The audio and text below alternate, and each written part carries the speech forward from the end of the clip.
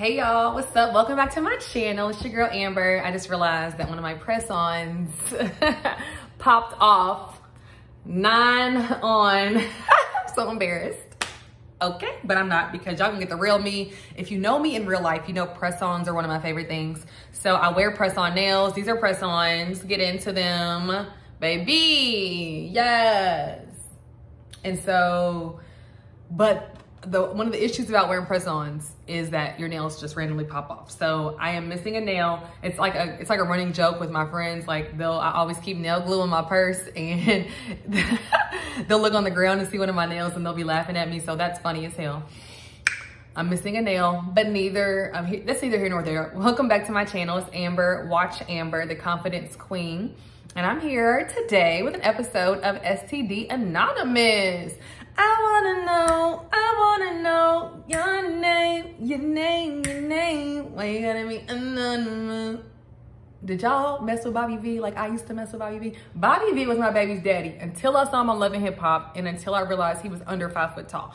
I'm 5'8", it just would not work. So I, have already recorded one of these that's gonna be edited, but um, okay, the camera keeps moving. I'm sorry guys. It's gonna be edited, but, and look at my cell phone, y'all.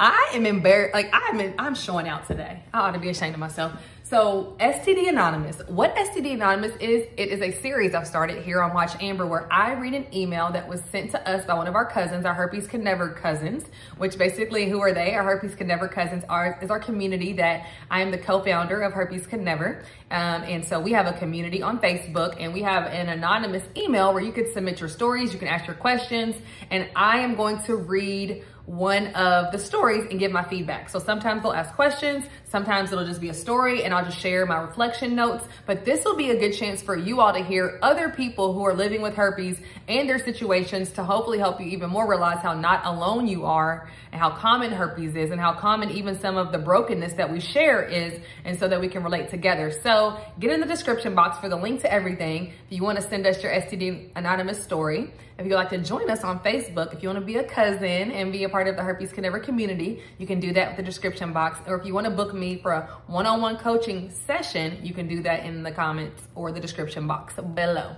So I'm reading, and of course, like I said, it's all anonymous. So the question says, or the email goes like this. Hey, I was recently diagnosed three months ago. I reached out to the guy that took advantage of me in my early 20s and he's in his late 30s. He told me I was lying, called me a and blocked me. It was very hard news to take in at first, but it helped me to love myself more.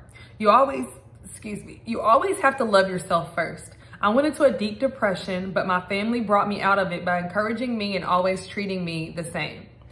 I'm still learning my body and what triggers me, but every day it gets better. And in my affirmations in the morning, I always say, a stigma will not define me. I'm still a queen and loved no matter what. My standards also do not change because of this. I'm still beautiful and pushing forward. Thank, thankful for you ladies. Thank you guys so much. Herpes could never. Period. okay, anonymous. Yes, queen. Wow, so there isn't really a question. This one's more so just like a positive one, right? She's saying that she was taken advantage of and she was recently diagnosed as of three months ago. And just to hear the, the reaction from the person who actually gave her herpes and to just hear their reaction towards her and just hear how she's kind of overcome that reaction is super inspiring because, you know, one thing that I'm sure a lot of you all can relate to, or not even a lot, maybe some. Do you know the person who gave you herpes? Um, was your reaction or his reaction or her reaction the similar to what you know, our, our cousin shared with us, she basically stated that he called her a B. He said she was lying and he ghosted her and blocked her. And unfortunately, she's not the first person who shared with us that that's happened when you get diagnosed with herpes and now you want to go tell the person who you believe gave it to you so they can be aware, so they can go get tested, so they can start living more responsibly. Um, when you tell them if they're in denial, if they're not ready to re receive such information, they will literally call you a bold-faced liar and all types of other names and make you seem like you're the one who ruined their life when in all actuality, um, no, that it was ruined before you even got near it. So I want to share that. If that's happened to you, first of all, you're not alone because we just heard a story from someone who was in that exact same situation and just the positivity she was able to get out of it is super encouraging. So if someone that the person you believe gave you herpes reacts like this, what I recommend is, is to take it, take a page out of Sis's book right here. Take a page out of her book Get around people who are going to support you, uplift you, affirm you, and it starts with you. She said she gets up and she says her daily morning affirmations, and she calls herself a queen. When I was healing through my affirmation, when I was healing through my herpes diagnosis, if you watch my How Herpes Saved My Life YouTube video, while I was healing from my own brokenness and the stigma of the stigma and how it affected my life, one thing I did every single day, well, most days, was say affirmations to myself. And one that just comes to the top of my head is I am blessed with an incredible family and wonderful friends. And I that's my reality today. I have a wonderful family who's so supportive. I'm in my sister's house right now shooting this YouTube video. Um, I have a great friend circle, a friendship network, and I, I partly believe that is to be why that is today is because of what I told myself, what I affirmed to myself, what I said to myself out loud. And so I want to encourage you, start saying affirmations to yourself because your the love, the acceptance, the forgiveness all starts with you but also the importance of surrounding yourself with people who also want to encourage you and keep your mindset positive and keep your outlook positive. It might not be your family. It might be your friend group. It might be your coworkers. It might be friends that you've made family, whoever the case may be. It might be your herpes can never cousins on Facebook.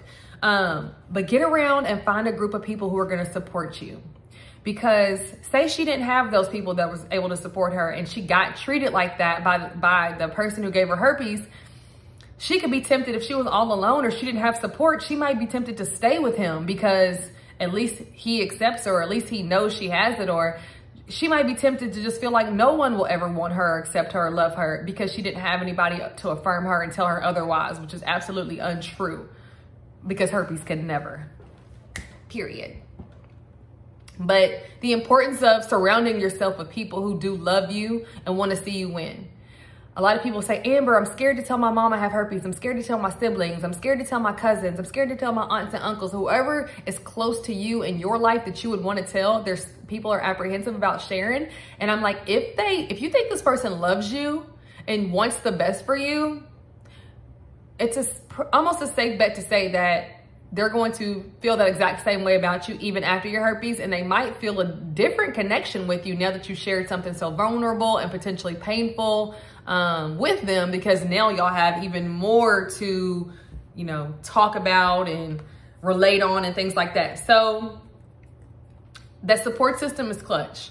Um, the fact that she knows that it's his loss and that, that he's to have to do the work he has to do on him is another plus because on Clubhouse this morning, we were talking and one of the girls shared how all these yawns and burps and everything's just coming out while I'm talking. And I'm just like, man, when you get in your mid to late 30s, because I just hit 36, bodily functions just start happening and you can't control them. And I'm embarrassed kind of.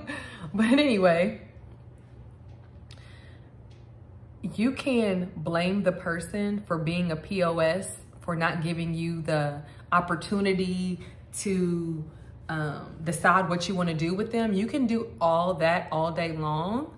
You can stay wrapped up mentally in the person who gave it to you and how they responded and how they had this, you know, negative response, or you can just sever ties mentally, pick up, you know, the pieces and emotionally decide to move forward.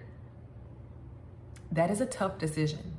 That decision is not even, that might not even be you know, natural. Your your first instinct might be to go nuts, lose your mind, cuss him out, go to jail, go to his job. Like your first in, your first instinct might not be the one you want to act on in this instance because when you give someone else that much power in your story and your narrative and your actions, when another person's actions can cause you to altogether change the way you act, you got to reassess because it's not them, it's you.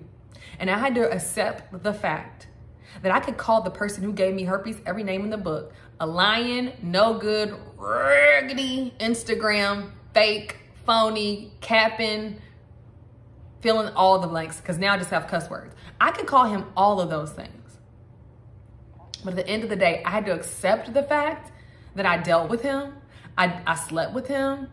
I entertained him. I got wrapped up into him. I had to accept my responsibility because when I accepted my responsibility, I also took my power back in the situation. And now it was no longer I got ghosted or this person gave me herpes. It was I put myself in a situation with someone. I was irresponsible with myself sexually.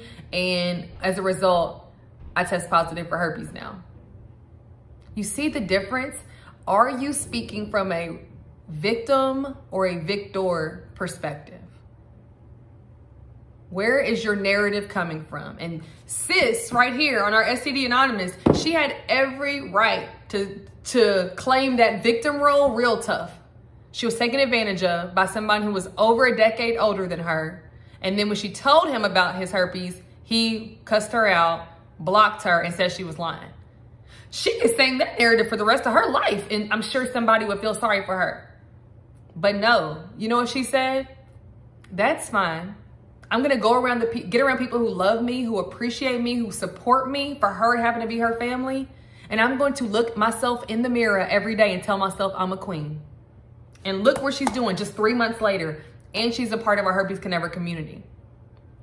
The power in your mindset, the power in your words, the power in having people around you that love you and want to see you win. I'm telling you, it is limitless. It will change your life.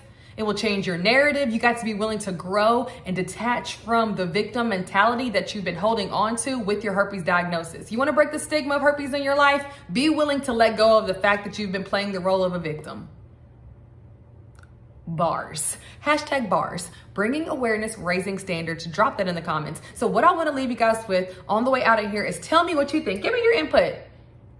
Give me your input on the story. Can you relate? Have you told the person who gave you herpes, they gave you herpes, and their response was, you a B and you lying? How, what, what was their reaction? And how do you view it now? How has your mentality, your perspective changed from a victim to a victor? I'd be so interested to know. But that was our STD Anonymous. That was a great one. More so like a story than a question, but we could all learn lessons because your story has the power to save a life. So I look forward to reading your STD Anonymous right here on Watch Amber. If you can share it with me in the description box is all the information you need to get in contact with me. And I really appreciate y'all listening. We breaking the stigma together because we're showing up, we're doing the work. And remember, that herpes could never, period. Peace.